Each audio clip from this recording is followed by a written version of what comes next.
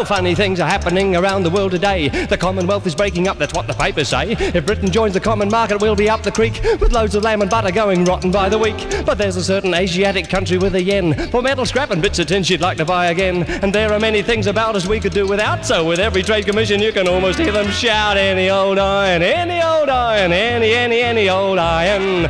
Public bars, old pop stars, pay a little something for your second-hand cars. DABs, DC3s, anything you clap your eye on. Even give you tuppence for your mayor's old chain, old iron, old iron. Any old iron, any old iron, any, any, any old iron.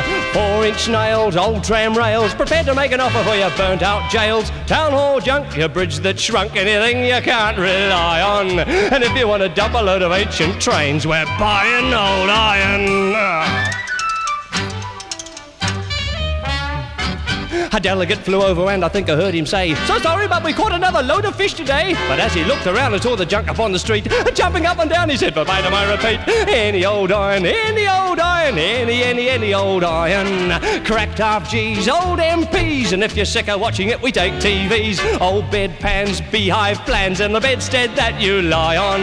Chuck your 30 bob, your Ranfurly shields, old iron, old iron. Oh, any old iron, any old iron, any, any, any old iron.